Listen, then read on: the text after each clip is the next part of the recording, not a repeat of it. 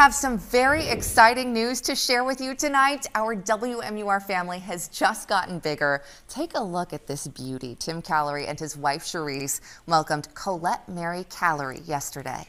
Baby and mommy are both doing great. A big congratulations to the Callery family. She is beautiful, and they are both going to be great parents. Yes, absolutely. And welcome to the WR fam WMUR family. We are so excited for you.